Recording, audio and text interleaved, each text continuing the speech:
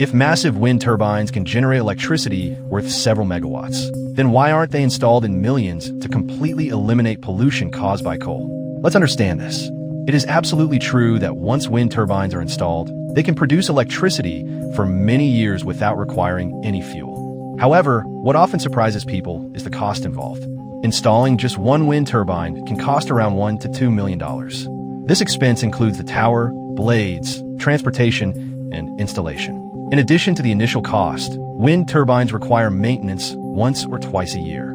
Since these machines operate at great heights, maintenance work must be carried out by specially trained teams using expensive components and heavy machinery.